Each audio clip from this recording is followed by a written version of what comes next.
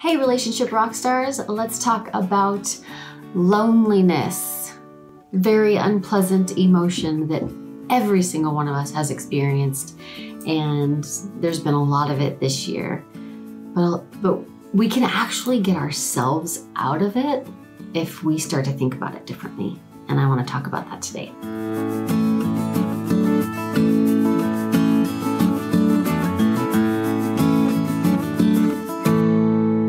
Stacy Rocklein, and I'm here to help you with your relationships so that you can have less conflict and deeper, stronger connections. Loneliness is just sadness about not having friends or company. That's what the definition on Google told me. And that seems about accurate. What we're doing is we are alone, and then we are looking at that reality and we're seeing what's missing. We're seeing what's not there. We're seeing the void, the hole. And that's making us sad.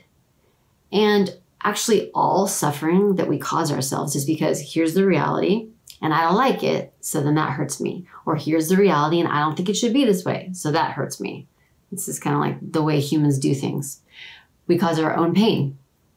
So you can change these feelings of loneliness with some actions that you can take mindsets. And we're going to talk about those today. So, first, let me tell you a story of a very, very lonely time in my life. I had um, moved with my little family from Boulder to Boise. And we, we were moving for my husband's job, and we only had one kid at the time, one member of the Rocklein frat house, and he was one year old. I was uh, kind of a stay at home mom, but I worked from home. I was an online teacher, so I had contact with students and their families, but not really other teachers or other adults. And I didn't know anybody in town, not a soul. And we moved in winter. So in my neighborhood at that time, that meant there was nobody around. I, I literally wondered if we had bought a house in a neighborhood where none of the houses were populated I didn't see someone walking their dog. I didn't see someone with a stroller. I didn't see kids out. I didn't even see cars coming and going. There was nobody. And I didn't have any friends. I didn't have any of my friends that lived in other towns. I didn't have a play group. I didn't have mommies around me. I was completely alone. And I was feeling really lonely. You know, I was very focused on what was missing. But Here's the way you get out of situations like that. One, you do visualization.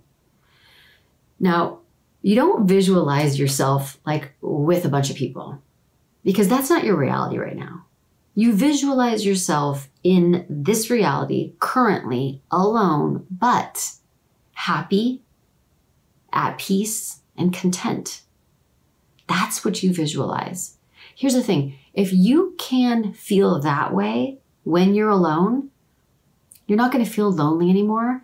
And you're going to make healthier choices when it comes to relationships instead of just like fear of being alone and needing to find somebody, anybody, and desperation.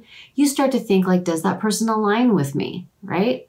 What's healthy for me? You make better relationship choices when it's perfectly okay if it's just you, if you're just alone. The other thing you're going to do is you're going to visualize the steps you need to take to change it. What am I going to need to do? I knew what I needed to do because I couldn't handle the loneliness anymore.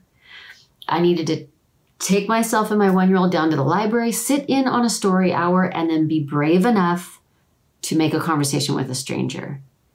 Brave enough to ask someone if they wanted to meet at a park. Brave enough to ask for a phone number. So you visualize yourself doing those hard things and being okay. You visualize some, someone canceling plans on you and that just being an excuse to watch that movie that you wanted to watch. You visualize yourself handling those hard things better and you visualize yourself being happy, content, and at peace all alone. The second thing that you do is you celebrate.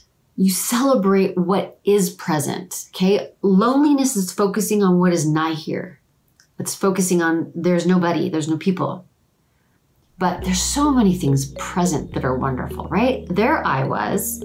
And as soon as I changed my mindset to, oh my God, I have all this time with just my kid. We don't have a schedule, we don't have commitments. we have total freedom. I mean, I had some work, but we had total freedom. It was liberating. Stop saying lonely and start saying, I'm alone or I'm free, right? I'm alone and free. I can do whatever I want. Celebrate what you do have. What are the great things about this alone time that are present here and are part of the reality so that you're shifting your focus? So, those are the two things that you're gonna do. You're gonna visualize that you're happy, content, and at peace alone. And then you're gonna visualize yourself doing those things that you need to do, the hard things to change your circumstance. And then you're gonna celebrate, no longer using the word lonely, just saying, I'm alone and free, looking at all the blessings that are in your life. Because when you can stop feeling lonely, you can start moving. When you feel really lonely, you have a tendency to just go lethargic, to go actionless. And it's important for you to get yourself moving. And you're gonna have to start right here. And these thoughts will affect your emotions. So that's what I've got for you today. Also, I've got a free Facebook group and it's all women and they're all there to talk about relationships. So if you are feeling alone but want some connections with people who align with you, come join our free group. We would love to welcome you. Okay, I will see you next time.